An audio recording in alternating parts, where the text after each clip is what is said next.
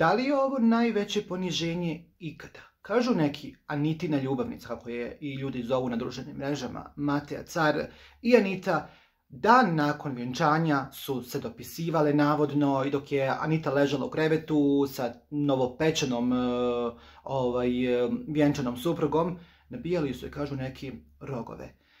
Na jednoj stranici na društvenoj mreži Instagram koja i prati dešavanje u reality programu Zadruga svako iznosi svoje mišljenje i komentariše i teorije zavjere i mišljenja.